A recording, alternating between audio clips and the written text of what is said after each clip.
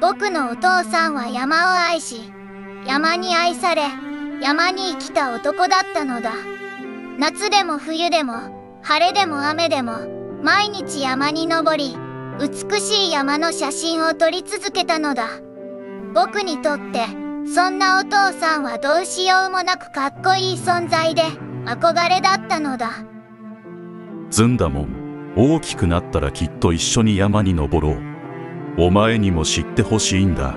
山の偉大さと人間のちっぽけさを。そうして自分がどう生きてどう死ぬべきか真剣に考えてほしいんだ。俺はそれを山から教わったよ。